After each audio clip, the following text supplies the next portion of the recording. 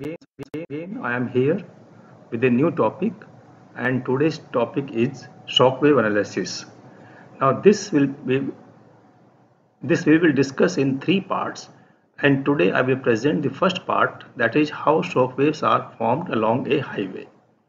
Shock waves have wide applications in the study of platoon formation and dispersion.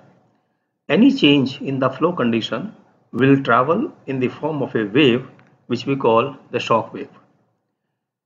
So what is shock wave? Shock wave is similar to the wave produced by dropping a stone in water. You must have observed that when you drop a stone in the water, it creates disturbance and this disturbance travels in the form of waves. Same is the case with the traffic flow also. Whenever a disturbance is created in the flow, shock waves are formed and these shock waves can move either in forward direction or in backward direction depending upon the nature of the disturbance and the flow condition. So this is a byproduct of traffic congestion, backup or queuing of vehicles as a result of a sudden decrease in the roadway capacity or due to lane closure behind the stop line at traffic light or maybe because of some accident on the highway or because the traffic stream is interrupted by a slow moving vehicle. So these are the regions where shock waves are created. This shock wave can travel either in the forward direction or they can travel in the backward direction. So there are three types of shock waves. Backward propagating shock wave which is generally occurs behind a signal or behind a accident forward propagating uh, shock wave like beyond a signal or after the incident is cleared and it can be stationary also. Now when two streams having the same flow value but different densities join together then a stationary shock wave is formed or when two streams with different flow values but same density meet then also a stationary shock wave is formed. Now let me just go to the board now to explain the shock wave along a highway. Let us take one example of a highway where all these vehicles are moving at a speed of 60 km per hour and trajectory of all these vehicles are shown here where slope of each line will be 60. A, a truck moving at a speed of 20 km per hour enters the highway at let us say time is equal to t 0 and this vehicle is moving this truck is moving at 20 km per hour. And let us assume that the permit the passing is not permitted.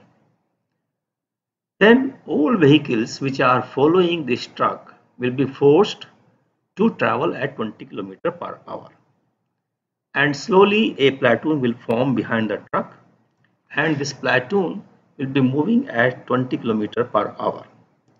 So at any instant of time, the last vehicle to join the platoon will be traveling at 20 km per hour. But farther upstream, all vehicles will be moving at 60 km per hour. And Beyond the truck, there is no vehicle and it will be again free flow condition. Now since all vehicles in the platoon will be traveling at a lower speed at 20 km per hour, so they will adjust the spacing and the concentration will increase. Speed will be low 20 km per hour and at this speed concentration will be high. So this will be the trajectory of different vehicles. Here all vehicles were moving at free flow speed at 60 km per hour and after entry of the truck all vehicles will be forced to move at 20 km per hour. Slope of each line here is 20. Now you can see two lines of demarcation here. One A, A which is defined by the truck that is the free flow condition and the platoon and another is at BB which is a platoon condition and free flow condition. The demarcation between the platoon condition and upward free flow condition. Now if you take flow density curve then let us say this is the point 1 which was at a time when the truck was not on the highway. So slope of this O1 line will be 60 kilometer per hour. That will be the speed of the vehicles before entry of the truck. And when the truck has entered, let us say the density is now higher and this, this is represented by point number 2 and at this point if you join this line O2 the slope will be 20 20 km per hour. So these are two situations one given by slope of line O1 another given by slope of line O2 and the slope of this line 1 2 will be the velocity of shock wave. This slope of line 1, 2 will be Q2 minus Q1 upon K2 minus K1. That is the flow at point number 2 and point number 1 divided by difference in density at point number 2 and point number 1. Now this is the velocity of shock wave. Now if this slope is positive, the shock wave will travel forward. If this is negative, it will go backward and if it is 0 it will be stationary with respect to roadway. Let us put some values here in the flow density curve. At point 1 we assume that the flow is 1800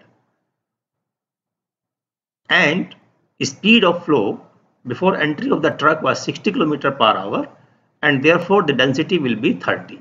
So this point here will be 30 vehicles per kilometer and at point 2 we assume that the flow is now 2000 and speed of the truck is 20 km per hour therefore density will be 100 so this value represent here 100 and this flow will be 2000 so slope of this line will be 2000 minus 1800 divided by 100 minus 30 that is 11.76 km per hour.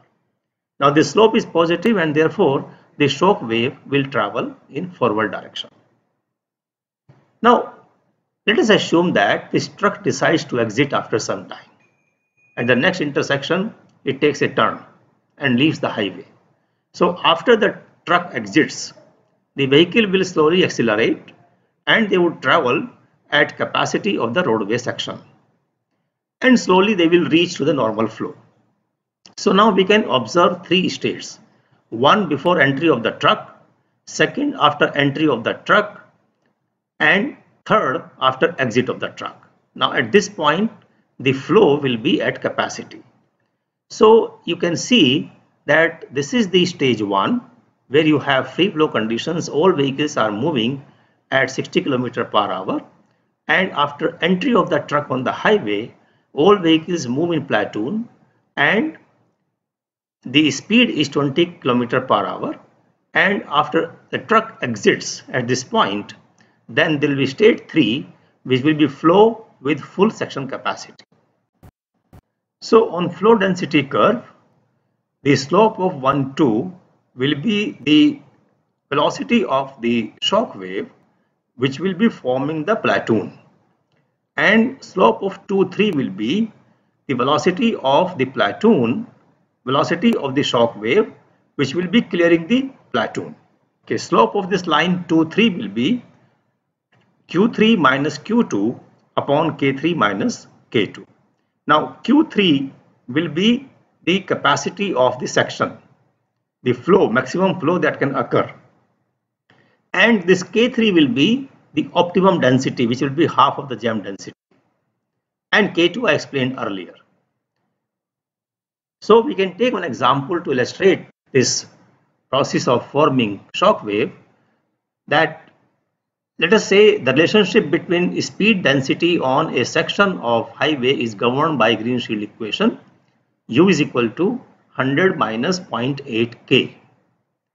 At a flow of 1000 vehicles per hour, a slow moving truck with a speed of 20 km per hour enters the road and exits after 800 meter. Now estimate the speed of the shock waves and distance the platoon will reach. So this can be solved with the background which I explained that if you assume u is equal to 100 minus 0.8 k then q is equal to k into u and that is k into 100 minus 0.8 u and if you solve this equation you will find that at a flow of 1000 the density will be 10.96 vehicles per kilometer. So these are the values of Q1 and Q2. That's the state 1. Q1 will be 1000 vehicles per hour and K1 will be 10.96 vehicles per kilometer. Now after the truck enters, the speed of the truck is 20 km per hour and if you substitute this u equal to 20 in this equation you can find that k will be 100 vehicles per kilometer and flow at this point will be 2000 vehicles per hour.